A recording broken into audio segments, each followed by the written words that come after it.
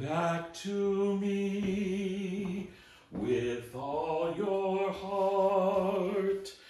Don't let fear keep us apart. Trees do bend, though straight and tall, so must we to others call. Long have I waited for your coming home to me and living deeply our new life. Well, I'm taking a few days off, and this is my puppy Mickey who might be visiting with us for the next couple of sessions. But even though I'm away from the parish, it is never, we never take a vacation from prayer. So it might be a little difficult as I'm using different equipment and I'm not in the chapel. But I'm sitting in a chair that was from the church of my baptism, St. Salomea, which was on 118th and Indiana Avenue in Chicago. And this chair is well over 100 years old. And so feel honored to be able to sit in this chair. Good point. And so as we continue our prayers together, as we celebrate today on the first week of Lent, on this Thursday, let us gather in the name of the Father, and of the Son, and of the Holy Spirit. Amen. Friends, the Lord be with you. We gather today again, giving thanks to God for the many gifts that he has given us for the gift of life, for the gift of Jesus, for the gift of this Lenten season, which allows us to take an honest look at our lives so that we may be changed. And so today, let us cry out for mercy. Kyrie eleison,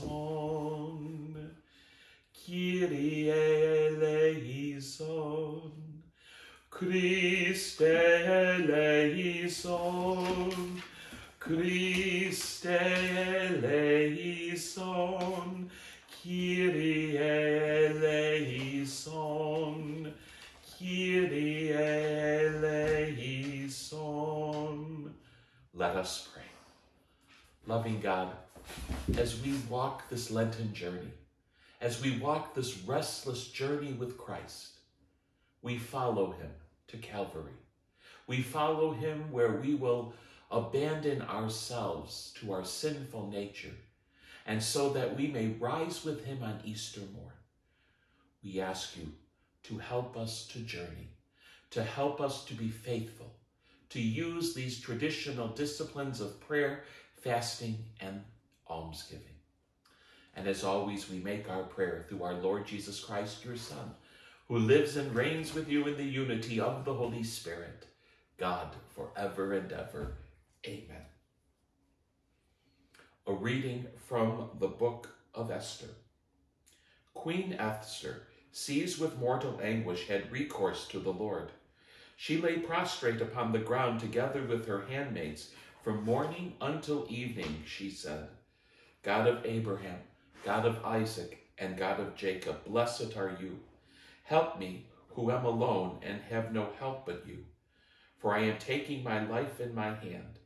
As a child, I used to hear from the books of my forefathers that you, O Lord, always free those who are pleasing to you. Now help me, who am alone and have no one but you, O Lord my God. And now come to help me, an orphan. Put in my mouth persuasive words in the presence of the lion, and turn his heart to hatred for our enemy, so that he and those who are in league with him may perish. Save us from the hands of our enemies. Turn our mourning into gladness and our sorrows into wholeness. The word of the Lord. Thanks be to God. Lord, on the day I called for help, you answered me. Lord, on the day I called for help, you answered me. I give thanks to you, O Lord, with all my heart, for you have heard the words of my mouth.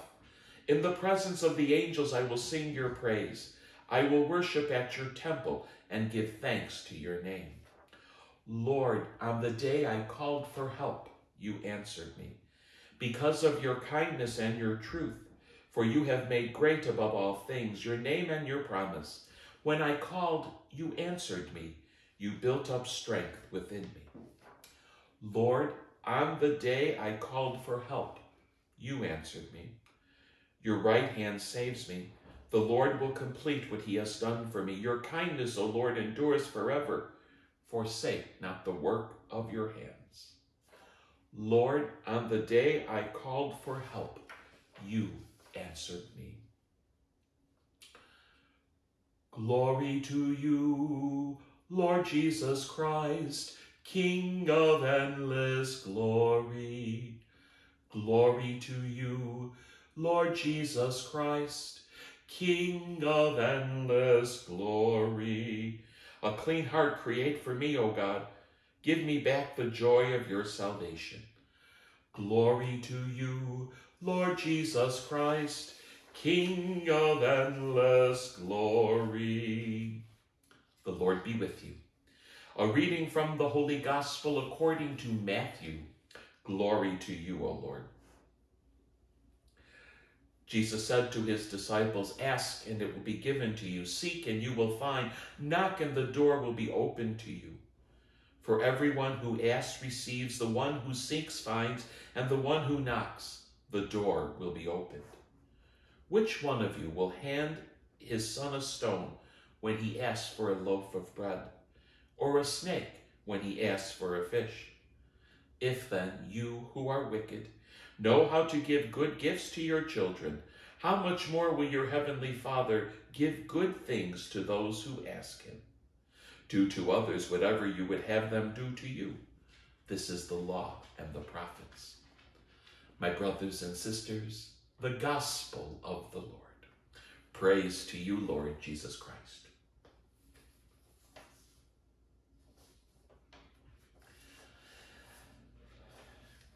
I think that the prophet Esther, as we heard from the book of Esther, I must feel that this is the way some of the people in the Ukraine must be feeling today or during this terrible invasion of their country. And Esther cries out to God, Now help me, who am alone and have no one but you, O Lord my God.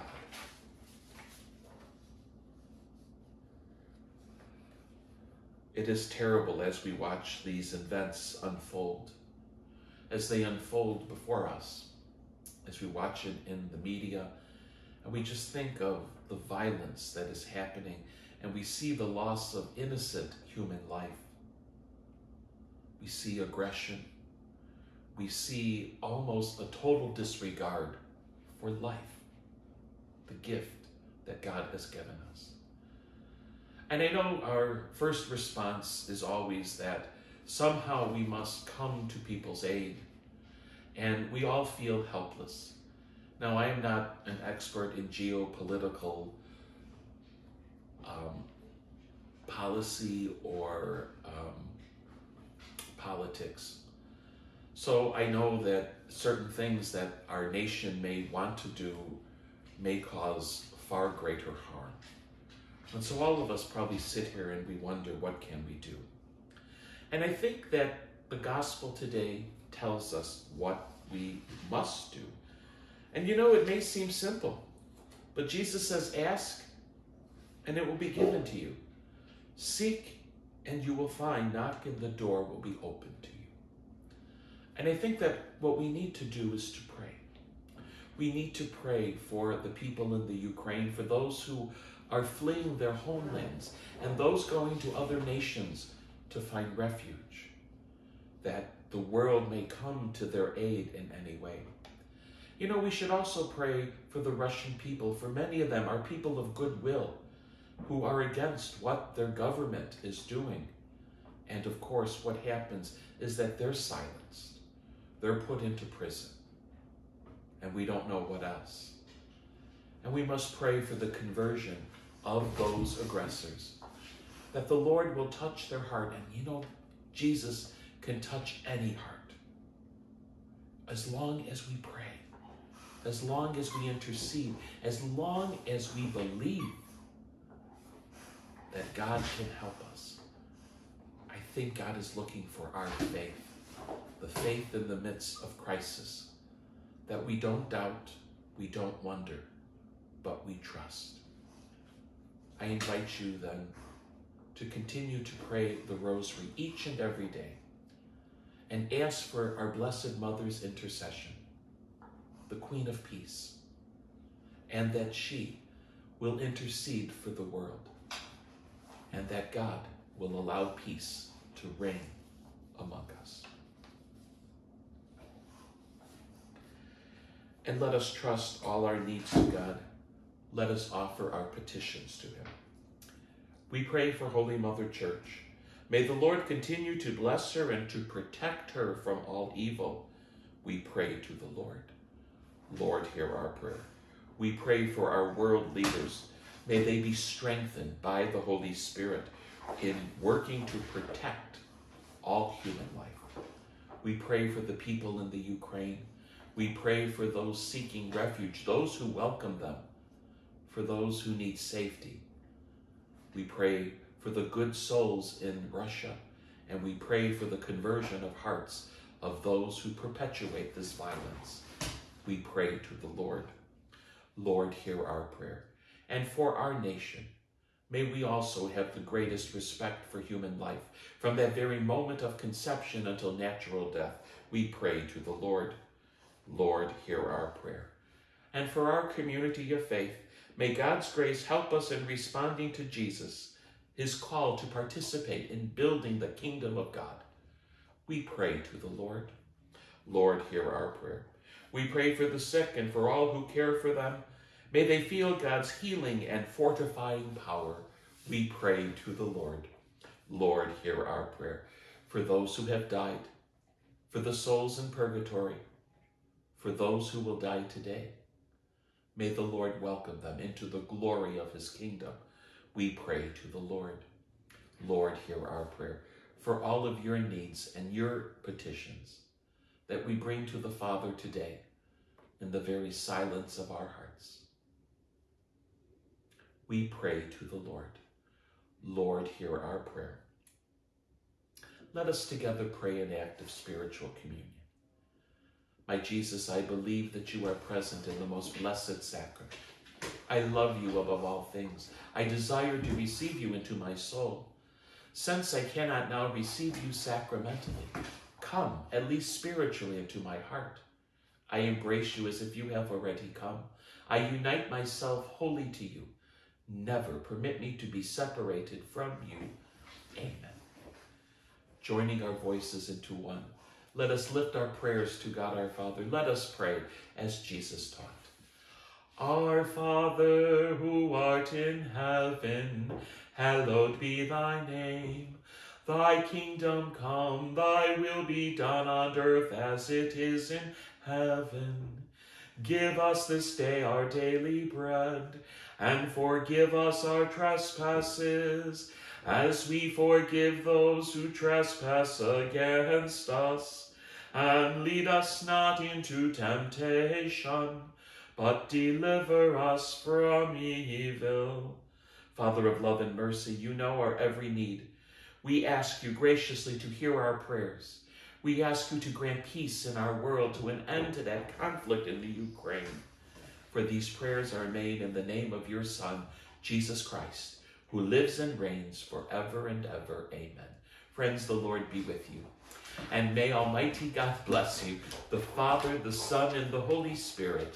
Amen. Go in peace, glorifying the Lord by your life. Thanks be to God. Jesus, remember me when you come into your kingdom. Jesus, remember me when you come into your kingdom. Jesus, remember me when you come into your kingdom. Jesus, Remember me when you come into your kingdom.